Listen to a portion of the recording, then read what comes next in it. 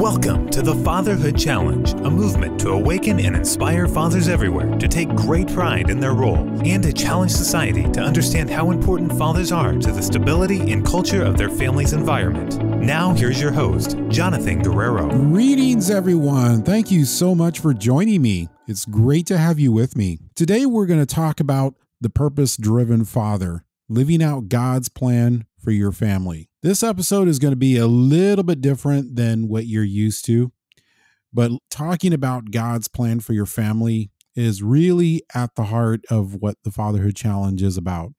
You know, one of the things I really love about my church is the mission statement. The mission statement says, discipling people in God's love, an anti message empowered by the Holy Spirit to strengthen families in faith and relationship with each other. That's something that is powerful, especially the last part empowered by the Holy Spirit to strengthen families and faith and relationship with each other. I'm going to say something that's going to sound a little strong, but if your church does not have something about families in its mission statement, you probably have missed the point as a church. And the reason why is because we are created in God's image. So if God has a family and God's whole purpose is for his family, then why wouldn't we as a church put families at the top of our priority? If you aren't discipling your own family, how do you expect to disciple anyone else? Outside of your family. So we're going to start at the heart of this, which is fatherhood. First of all, I'm going to tell you a little bit about my experience, my own personal background. One of my guests, my former guest that I had on here was Chris Bruno. Chris taught me something very, very valuable, which is about purpose and identity. Those are the two hearts of what makes a man a man. A man has to know his identity and a man has to know his purpose. Without knowing those two things, a man is completely lost. The identity part is actually broken up into two different parts. The first part has to do with your spiritual identity. And we're going to touch on that as well today. The other part of the, your identity is your generational identity. I like how Chris refers to it like a generational train. So think of a long train, several rail cars. There's the engine, and there's several other cars behind that. Each of those cars represents a generation. You are riding in the front car. So if we go back several cars or several generations of your family history, what's on that train? Is it alcoholism? Is it drug addiction? Is it violence or is it something else? Maybe it's gambling. There's we could just go on and on and on with this. But the point is there's all of these negative aspects of who you are. It's important to know and be aware of how long that train really is because that tells you that gives you a good indicator of what you are up against. So if there's something you need to be dealing with or have your attention on, it might be you get therapy as soon as you can to deal with this issue. Because if you're aware of it, you don't want that to continue on to the next generation. You want to be the one that's responsible for putting a stop to it. This is why the generational component of your identity is so important and so critical. So let me share a little bit of mine. My grandfather was and always has been known up until a certain point as being just a very jovial character, somebody who's so much fun to be around. He fell on hard times, and I'm not sure if it was a loss of a job or something to that effect, but when he fell on hard times, instead of turning to God as his source of strength and stability for riding those hard times, like many others, he turned to alcoholism. And when he was drunk on alcohol, he became a raging beast. He became verbally abusive and he became physically abusive. And that led to so many things It led to him abandoning his family. And when he was around, he terrorized his wife and he terrorized his kids. And my own father was caught up in this mix. Now, my father was responsible for eventually keeping the family safe and driving him away and making sure that he did not show up again to, to hurt his family. But my dad paid the ultimate price for it because when my grandfather abandoned his family, there was no one around to take care of the family. And so my dad stepped up into the role of being a father to his brothers and being a provider for his own mother. So, for a good majority of my dad's childhood, teenage years, and early adulthood, my father became a man before he was supposed to. He never really got much of a childhood at all. He was working all the time. And when he wasn't working, he was home taking care of his siblings and taking care of his mother. So we fast forward to when I grew up as a child without my dad around, always wondering where he was, wondering why everyone around me had a dad, but I was missing mine, and trying to make sense of that. If we fast forward into my early adulthood, I decided I really did not want to go much further into adulthood without knowing who my father was. So I finally had a chance to meet him. And that was a, a beautiful occasion. I learned so much about my father. It taught me a lot about myself. But the short story is my father did not stick around. In fact, he abandoned me since that first reunion. My father had abandoned me at least three times during that time, that was a very difficult pill to swallow. But if you ask me now if I regret ever meeting him, I would tell you no, because I learned so much from that experience. I learned great things about my father. I also learned some not so great things about myself. The absence of having a father in my life really tore me up, and not really understanding what that was going to mean for me and not really being proactive about taking advantage of that information to try and stop things before things really got bad, before I put my family through a lot of stress. Yeah, it didn't happen.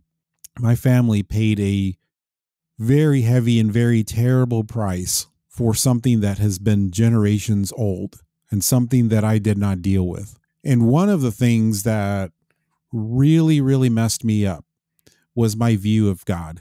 I went through a good portion of my life not really truly knowing who God was for myself. And in most cases, not really wanting to get to know him. I thought I knew everything I needed to know about him, and it wasn't good. And that was reflected in my own view of my own father, who abandoned me, who wasn't around when I needed him to be. Now, there's another part of this that's also true. Um, and it took me a while to really grasp this, to swallow it, and to be okay with it.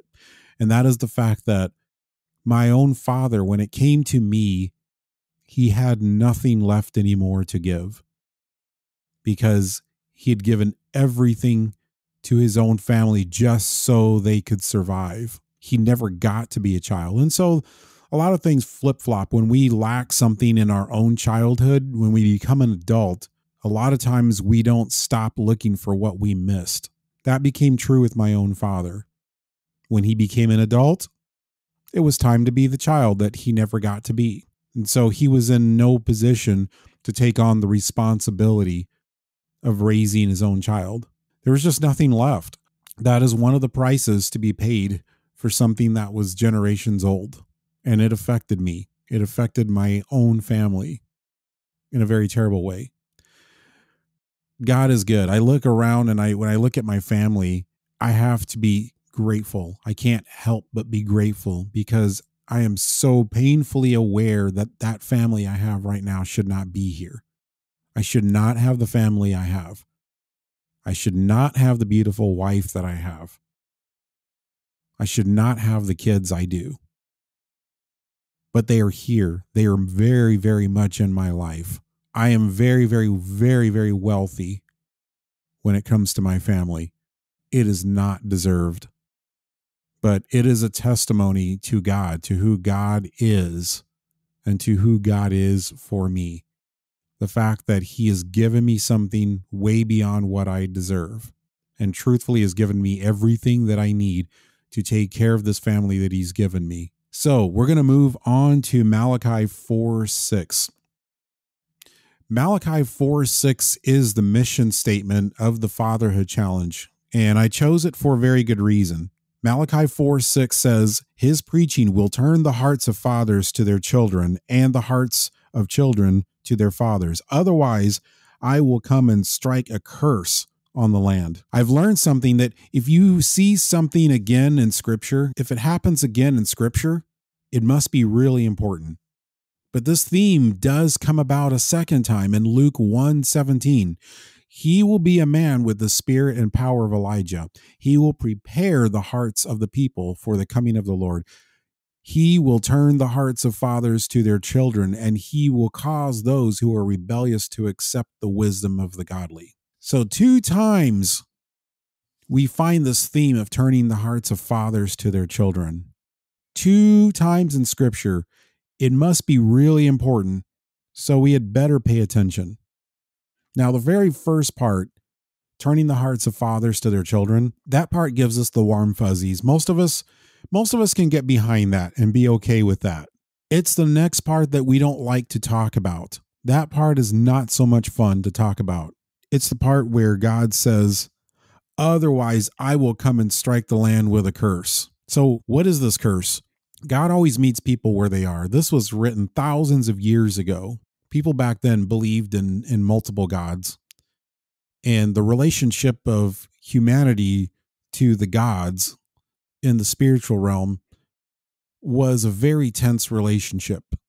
So if something happened to you or something happened to your culture or your people, people around that culture who were outside of that culture would look at your culture and say, well, what did you do to make that God or those gods upset? And people would do this to each other. If there was an individual who fell on bad fortune, other people within that same culture would look at him and instead of feeling compassion towards towards that individual and maybe saying what can I do to help, they distance themselves and the reaction was, well, what did you do to anger to anger your God? So this was the relationship at that time. So in that in the day and age of Elijah, people had no concept of incarceration, high incarceration rates, mass shootings, things like that. That was not on their radar. There was crime, there was even violent crime for sure. And even that was to the, in their minds a lot of times attributed to bad fortune that was caused from something you did to anger some god. So when God is saying, otherwise I will strike the land with a curse, that was something that was going to get their attention in their day and age because it was something they could understand and relate to. But we are here. We are not living thousands of years ago. And yet this scripture remains for us today to read. So, what does it mean to us? Where is God meeting us in this day and age? Because the Elijah message is actually a prophetic message. Malachi 4 6 is a prophetic scripture. It is not something written thousands of years ago that only applies to that civilization thousands of years ago, but it is generational and it applies to us. So we're going to go into the unpleasant conversation and we're going to find truth in it. We're going to talk about the curse. According to the U.S. Census Bureau in 2020, approximately 19.5 million children under the age of 18 lived in father absent homes in the United States, which is about one in four children. Children living in father absent homes are almost four times more likely to be living in poverty than those in two parent households. That is according to the U.S. Census Bureau. Children living in father absent homes are more likely to have behavioral and emotional problems, perform poorly in school, engage in drug and alcohol abuse, and experience physical and sexual abuse. This is according to McLanahan, S. and Sandefur. Fatherless children are at a higher risk of incarceration, according to the U.S. Department of Justice. 85% of youth in prisons come from fatherless homes. Fatherless children are more likely to experience physical, emotional, and sexual abuse. And that's according to a study by the National Fatherhood Initiative. Children living in single mothers living with single mothers are 8 times more likely to be abused and 6 times more likely to be killed by their mother's boyfriend or stepfather. Oh yeah, and speaking of the mother, women listening to these facts might think, "Well, what does this have to do with me?" The answer is nothing if you were the one who grew up in a loving and stable home, or even a broken home where your father was engaged and involved in your life, both emotionally and physically. But for other women who weren't fortunate enough to fall into that category, here's some more facts. Women living in fatherless households are more likely to live in poverty, and that's according to the U.S. Census Bureau female headed households had a poverty rate of 24.7% compared to a poverty rate of 6.5% for married coupled households. Women living in fatherless households are more likely to have lower levels of education attainment. And that's according to a report by the National Center for Education and Statistics. Children living in single parent households, which are predominantly headed by women, are less likely to graduate from high school and less likely to attend college women living in fatherless households are more likely to experience poor health outcomes. According to a study published by the Journal of Family Issues, women living in single parent households are more likely to report poor physical health and negative health behaviors such as smoking and binge drinking. Let's talk about relationships. Women who grew up in fatherless households are more likely to have difficulty forming and maintaining healthy romantic relationships. And that's according to a study published in the Journal of Marriage and Family. Women who grew up in single parent households were less likely to marry and more likely to experience divorce and separation. Girls learn from their fathers what to look for in a boy, holding their dads as the ultimate standard for how they are to be loved and respected. And boys learn from their father what it means to be strong and stable emotionally and physically available. Especially, they learn this from how the father treats his wife. Now, let's look at the cursed from a biblical lens. First of all, you may have heard this phrase when you grew up, especially if you're part of the older generation. You definitely heard this phrase spare the rod, spoil the child. The reference to that is Proverbs 13:24. So the Hebrew word for rod is used several times throughout scripture. And in every case when it's used, it's used to describe a scepter. So if we most of us are familiar with the story of Queen Esther. So when Queen Esther approached the king, the king extended his scepter to her and she touched the scepter. So the scepter and Queen Esther's story was a symbol of authority. It was the king asserting his authority and through his authority authorizing that person to approach and to speak. There is no reference at all that I can find anywhere of a scepter being used to strike someone. It was simply a symbol of authority. So, what's being said here is that fathers are to step up and they are to accept their responsibility. Let's talk about responsibility. 1 Samuel 3:11 Then the Lord said to Samuel, I'm about to do a shocking thing in Israel. I'm going to carry out all my threats against Eli and his family from beginning to end. I have warned him that the judgment is coming upon his family forever because his sons are blaspheming God and he hasn't disciplined them. So I have vowed that the sins of Eli and his sons will never be forgiven by the sacrifices or offerings. So, this is essentially a God handing down justice for dereliction of duty by a priest. That is a very, very serious crime. And so, what was happening is Eli's sons were doing very disrespectful things uh, to the sanctuary in the way they were handling the sanctuary rituals. Eli was not correcting them, as was his responsibility to do. And so God takes that very, very seriously when a man puts whatever duties he has above raising his own family. So that's the spiritual part of the curse. Now, let's talk about what the curse looks like in our day and age. Most of us are very familiar with the Uvalde shooting. It was a very, very terrible time that most of us would rather forget. What was really interesting to me was that after the Uvalde shooting happened, the discussion that went through the news and that circulated through circles at the around the water cooler at work and other places was over prevention methods. What could we have done to prevent that shooting from being so devastating? So all of this discussion centered around things like gun control and securing our classrooms. What I did not hear anyone talking about was what was going on in the home. We would much rather talk about anything else than what is going on in our own homes. And for some reason, mass shootings are less painful than dealing with our own homes. And that's really, really disturbing and really, really sad. But this is the pulse of where we are as a nation. In an interview with the Daily Beast, Salvador Ramos, Salvador Ramos is the father of the Uvalde shooter. He's quoted as saying, I just want the people to know I'm sorry, man. I'm sorry for what my son did. Okay. Sorry for what his son did. So the focus once again is on the shooting. But let's continue.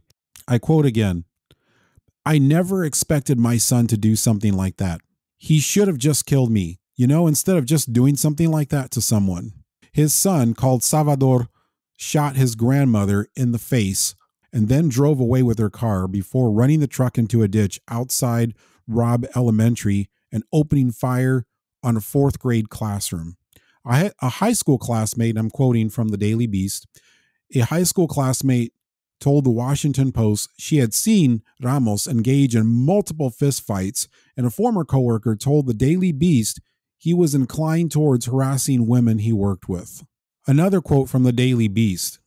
He was currently estranged from his daughter. This is the, the father. He was currently estranged from his daughter, the gunman's sister, who he said was also upset with him for not spending enough time with the family. And then this is a quote from Ramos, the shooter's father. My daughter, I guess, changed her life. She went into the Navy, he said. I wish my son would have gone and changed his life. So, what we're seeing here is really, really sick.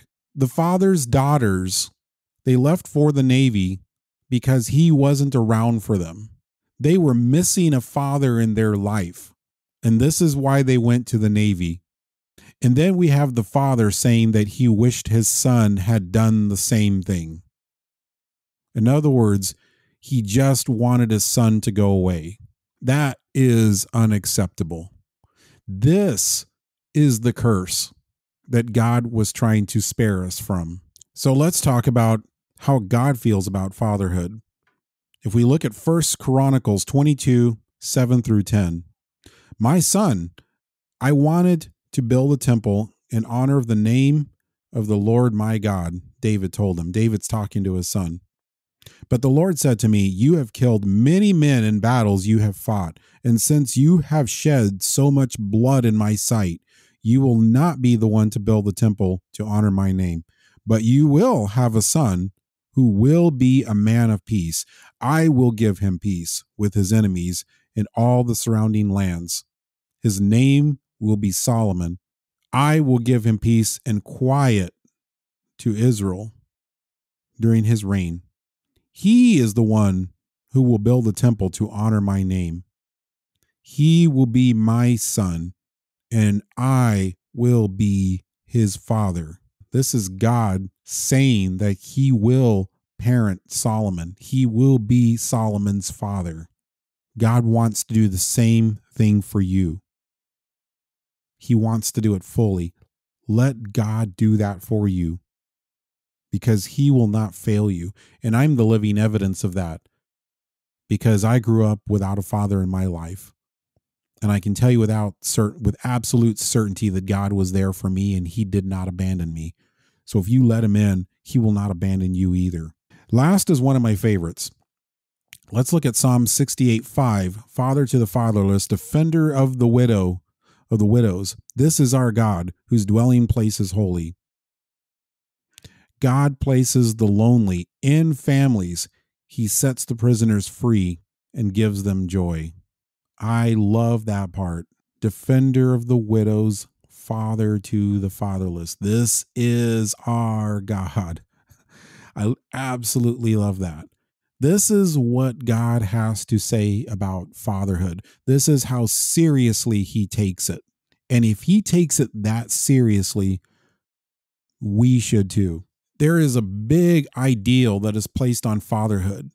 We've got a clear picture that fatherhood is right in the middle of, of the spotlight of what God pays attention to, of where his heart is, of what he's passionate about. He is passionate like you can't believe about fatherhood, enough to mention it several times through scripture, enough to step in and become a parent to someone who is going to be without a parent in their life, an involved father.